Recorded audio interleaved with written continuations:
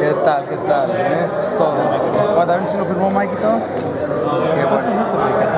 ¿Cómo? Claro que sí. ¿Cómo es tu nombre? Manuel Ríos. Oh, que tú eres Manuel Ríos. With Brandon's dad? Sí, sí, sí. Sí, cómo no.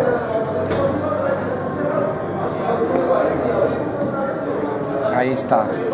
Gracias. No, bueno, no, a usted. Muchas gracias, ¿eh? Suerte. Gracias, muchas gracias. Claro, sí, muchas gracias. Vamos. A usted.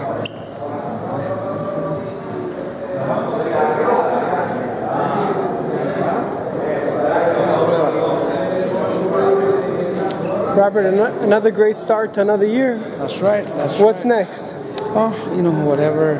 Cameron Dunkin, Bob Baron workout, you know. We got Rubio fighting know, April 4th or 5th, something like that in Mexico for the WBC middleweight title. That's probably what I have next.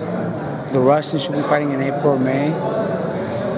You know, so we, we're ready. What were Gotta you get back to telling? What were you telling Mikey between rounds? The guy Well, was you know, running and running. Yeah, well, you know, keep keep keep smart. Don't get caught with a wild punch because that's what he was throwing. A, a lot of, you know, just trying to get lucky with the left hook. That's what he- With the left hook, something like that.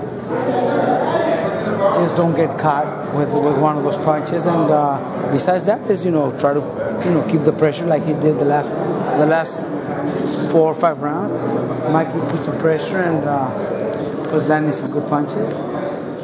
You know. Another win. Another one, look good, you know.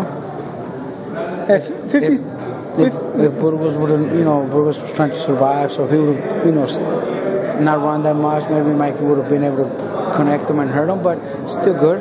Good experience, 12 rounds.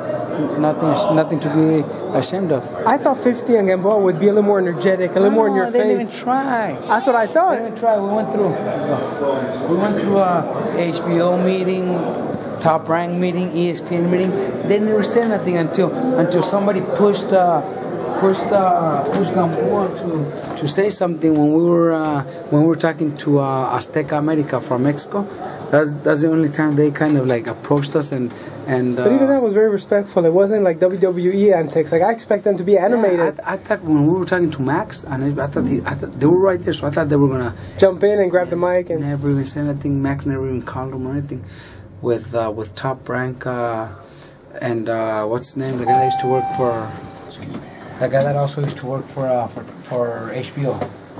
Larry Merchant. yeah. Okay, same thing. He never got in. Then we go with ESPN. He never got in until we were with Azteca, our last one inside the ring. Then I don't know who it was. Somebody could have been his promoter. I don't know. It was 50 Cent.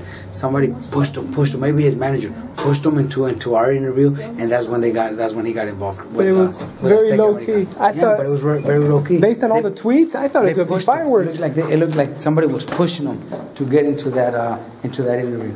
So Robert, congratulations, another big victory. That's right.